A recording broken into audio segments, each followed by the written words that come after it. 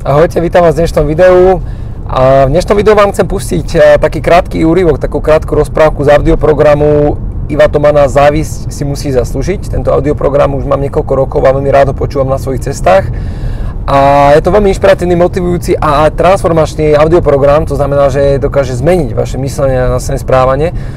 A konkrétne práve ten, táto rozprávka na konci uh, veľmi dobre vystihuje to, ako ľudia myslia, aké majú vzorce myslenia a následne ako konajú, aké majú vzorce správania.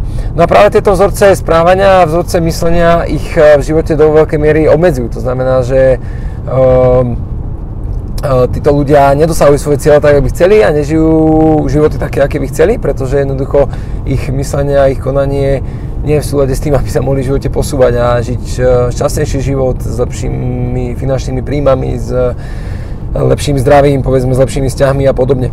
A preto vám teda odporúčam zakúpiť si tento program, vypočuť si ho celý a inšpirovať sa ním a verím, že aj pre vás bude inšpirujúci, motivujúci a zároveň transformačný tak ako pre mňa a radi ho budete opakovane počúvať vo svojom aute.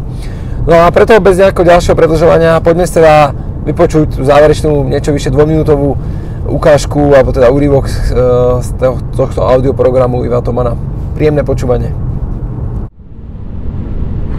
teď řeknu takovou pohádku, která se mi strašně líbí.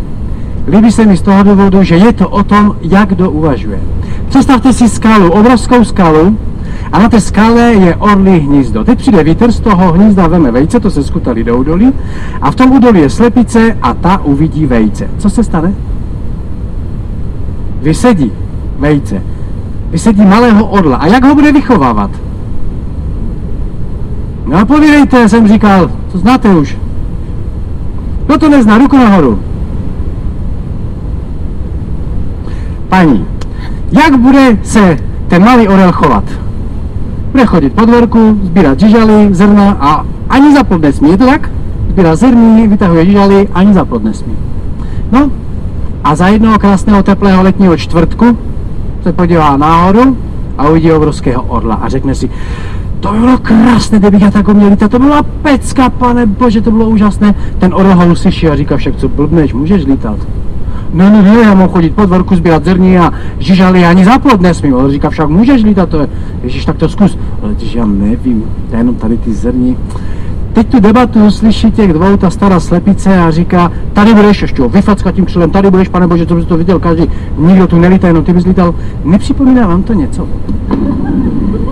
Tak Roj mu říká, že může, Slepice mu říká, že tady bude. Konec pohádky, zbytek je na vás. Co udělal Orel?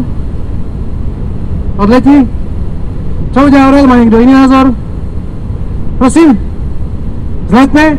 Takže vy, co jste řekli, že jste to do dneska neznali, ruku nahoru. Co jste říkali, že to neznáte? A teď nechte ruku nahoře ti, kteří víte, co ten orel udělá. Víte, co udělá ten orel? Co? Vy to víte? Jak to můžete vědět? Starejte se o sebe, co je vám po nějakém blbém orlovi, pane Bože? Lítáte snad vy. Tak dělejte všechno, abyste jenom vy lítali, ať vám všechny slepice zavidí.